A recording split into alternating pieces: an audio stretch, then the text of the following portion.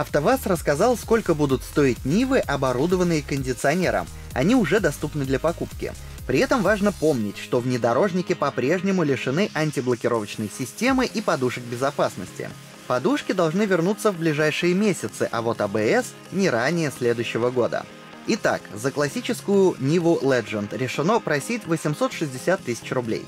Помимо, собственно, кондиционера, такая машина предложит подогрев передних сидений, электропривод наружных зеркал, задние подголовники и 16-дюймовые легкосплавные колеса. Для справки, самая обычная версия классического внедорожника обойдется на 51 тысячу дешевле. Правда, из оборудования покупатель такой машины получит только электрические стеклоподъемники.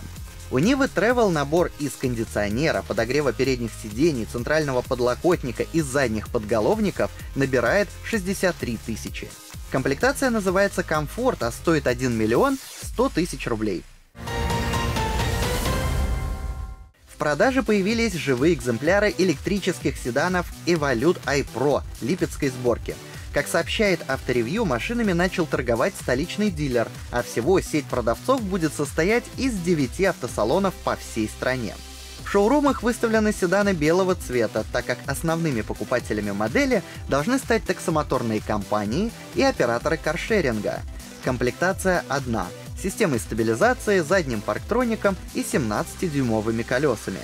Стоимость электромобиля неполные 3 миллиона рублей — Однако модели и валют попадают под госпрограмму льготного автокредитования, по которой действует 35% скидка.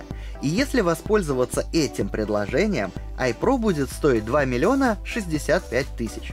Напомним, что и валют iPro представляет собой китайский Dongfeng Aeolus i70.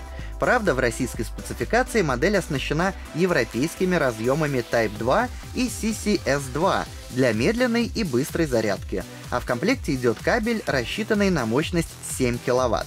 Полной зарядки 53-киловаттной батареи должно хватить на 420 км, но это по устаревшему циклу NEDC, так что реальный пробег 150-сильного электрокара окажется примерно на треть меньше. Напомним, что сейчас липецкий завод Мотор Инвест выполняет лишь финальные сборочные операции, поэтому из Поднебесной приходят почти собранные машины.